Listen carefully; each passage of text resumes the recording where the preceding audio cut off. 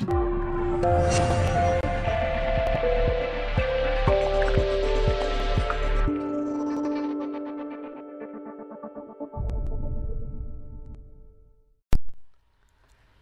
there, this is the Bookkeeping Master on YouTube. Thank you for taking the time uh, to view this video and the previous videos in this course.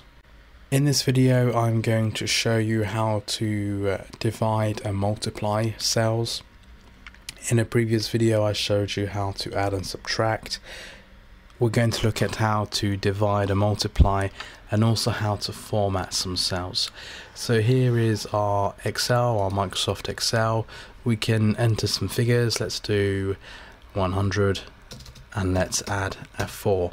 Say we wanted to uh, divide that 100 by 4 or whatever was in those cells. All we need to do is choose the cell we wish the formula and calculation to appear in. Click equals.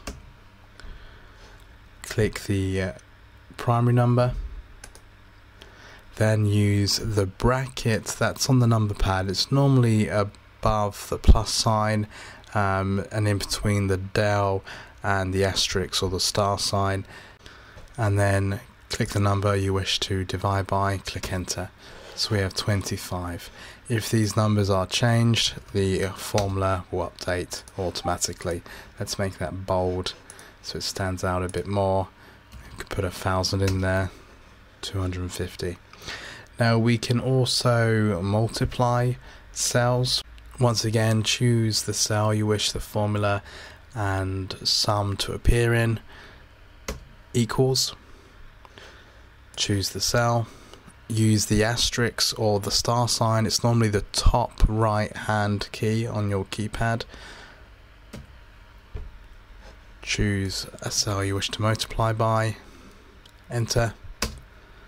4000. Just like the other formulas we've created, it will be updated automatically as we change the figures that are in the formula. So very straightforward.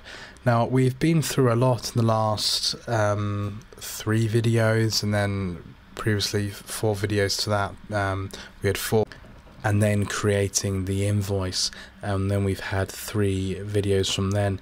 I'm going to show you how to format some cells and then I want to give you some more spreadsheets and templates to create because that's how you're going to really learn Excel and know the benefits of using Excel is when you start applying what you've learned and creating some things. Um, so let's format some cells and I'll give you some assignments.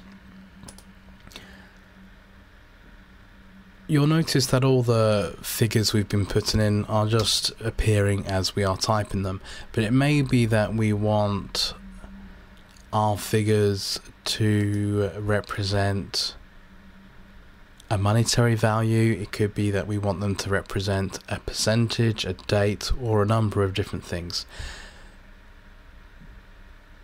So if we go back to our divide formula that we created over here, 1000 divide by 500, say we wanted this to appear as a percentage rather than the number 2. All we need to do is right click on that cell, go to format cells. It may take a little while to load depending on what edition of Excel you're using.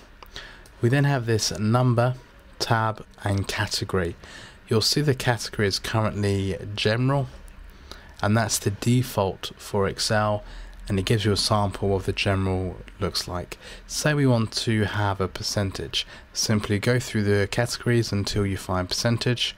You'll also notice there are things like time, date, accounting, currency, text, fraction, scientific and others.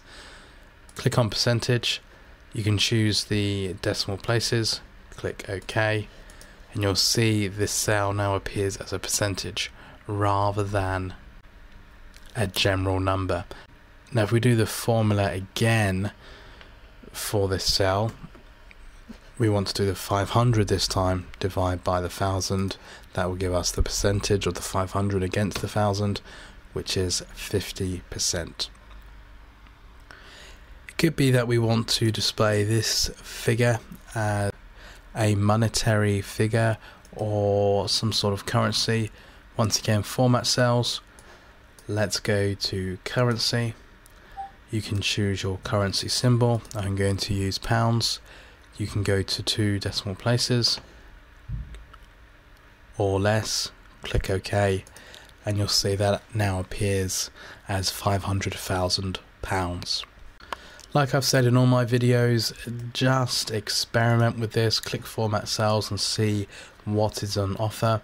And when you're ready to move on, use the button to the right here to go through the assignments I have of documents and spreadsheets I recommend you create to apply and develop your Excel skills further. Thank you for watching.